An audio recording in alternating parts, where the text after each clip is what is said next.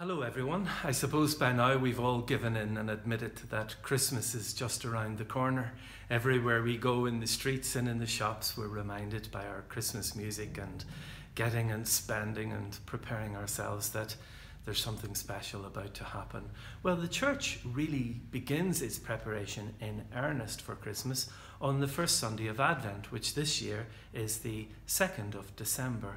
And from that moment on, in earnest, we try to prepare ourselves in our hearts, in our homes, in our parishes, and in the world for this amazing event, the coming of Christ in the incarnation at Christmas time. We've prepared a wonderful Advent calendar on catholicbishops.ie. So click in there and you will find each day some thoughts, reflections, prayers to help you and your family to get ready spiritually for Christmas.